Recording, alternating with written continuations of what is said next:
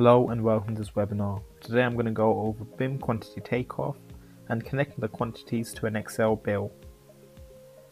First of all, I'll be taking you through creating a new project, so I'll give it a name, BIM webinar quantity takeoff in this case, and then I'll select whether I want to use SMM7 or NRM2. And finally, whether I want to measure in metric or imperial. Since I live in London, I'll choose metric.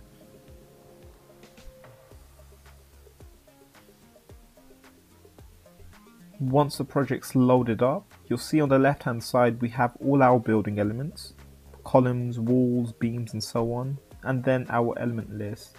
This is where you create new elements. Now up top we have various sections. Since we will be working with BIM, we'll mostly be focused on the BIM model. However, if you want to focus on 2D to 3D, then you can head over to Identify or watch our other webinars on that. We work with both IFC and Revit. To work with IFC, you simply click Import IFC file, and it will be the same process for Revit, where you click Import Revit file. And of course, if you uh, have uh, changes in a model, so Revit changes, then um, um, do the same thing. Revit changes, bring it in, and I'll show you how. Uh, um, and I'll show you how you do this. So choose your uh, Revit model. Uh, I will be choosing the structural model in this example, and um, I'll take you through the process of uh, quantifying it. So once the software um, realize that yes, you're working with a Revit model, you bring it in, you wait for it to move to the next process, and you simply have to say what is your uh, reference floor. So in this one, it's entry level one. Click next to confirm, and now our approach is radically different to most um, uh, uh, methods available where now we've extracted the data from the uh, Revit file, categorized it, and what we're saying to the software is in the Revit file, this over here is a rectangular beam. Is it seen as a beam in our software? Yes, it is. If it if it isn't, let's say if it was recognized as a column or some other um, entity, then you can just change it. It's usually not the case, but you have the option. Uh, of course, you can change the material as well. So you can change the material from in situ concrete to precast concrete also.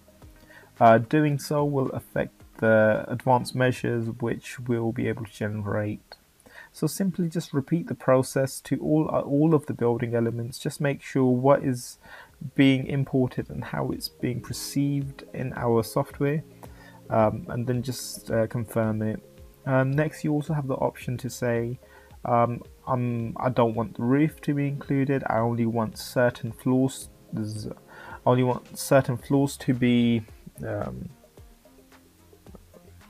Only want to quantify certain floors or just bring them in, so you can just check or uncheck them here. One thing to mention here is when we bring in a soft, when we bring in the model, then uh, we are not just bringing the model. If, for instance, it's concrete, then what we are able to do is uh, for concrete, we add advanced measures such as concrete volume, rebar, formwork, overheight formwork, and so on. For steelwork, we add tonnages, volume. So these are some of the advanced measures which we add. Um, I'll just show you what the uh, structural model looks like now. Now that we have the structural model, it has been imported. What we can do is uh, we can interrogate it further to uh, to show you. Uh, for instance, um, I've just zoned into the columns. You can see in this model there are two different types of ones, 450 by 750. Uh, we have our list of attributes uh, down at the bottom here where um, the steel ratio is what's used to calculate the weight of rebar which you'll see later on. So if you know exactly what it is you can change it from 150 to something else. And of course you can batch select all of them. So you can just uh, be much more automated in this approach.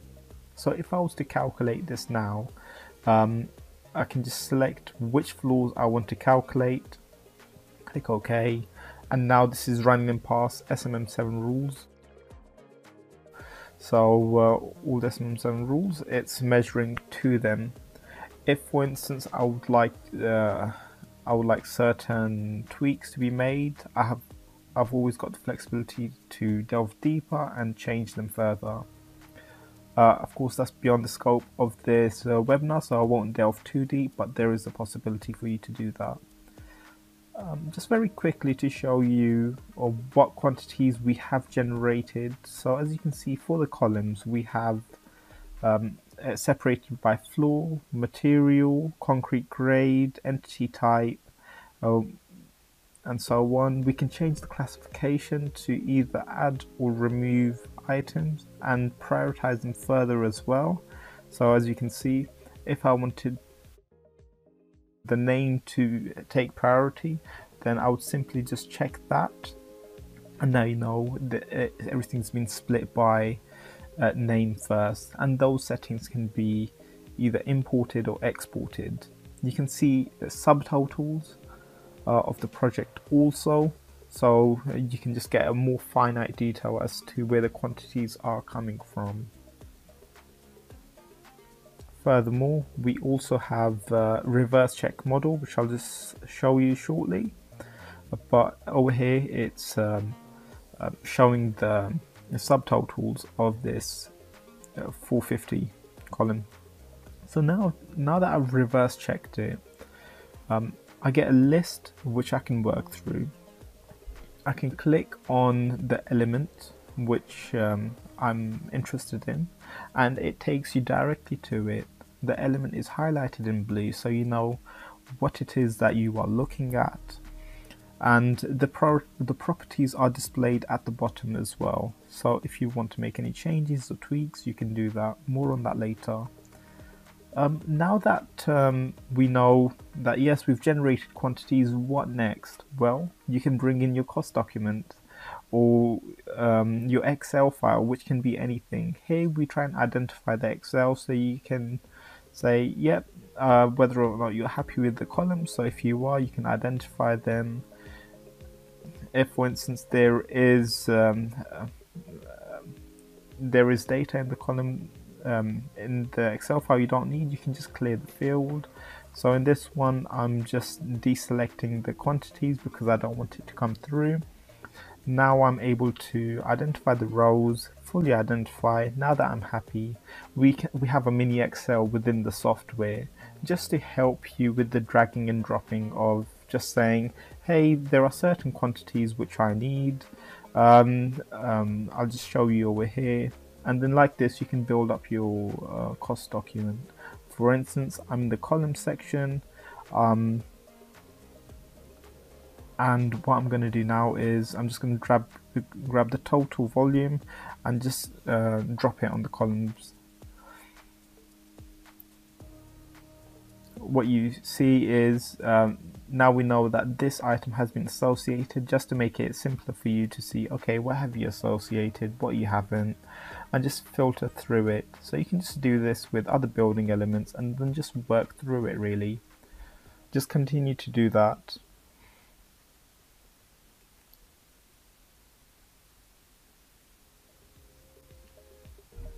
Um, another thing to note is if you use an item more than once, then what happens is uh, it's it gets colorized differently. So it just changes to purple just to visualize that further.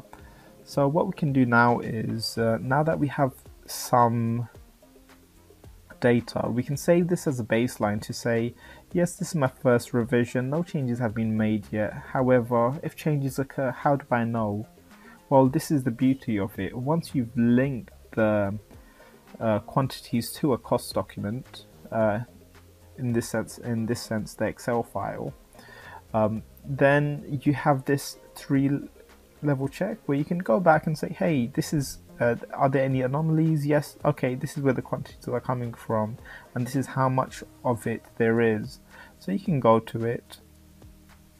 You can say, I uh, I want to know how many of these there are. Okay, brilliant.